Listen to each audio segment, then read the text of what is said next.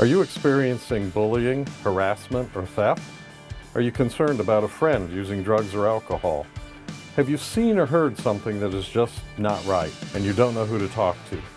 Call the Safe School Helpline at 800 418 6423 extension 359. Don't like to talk on the phone? Download the Safe School Helpline app.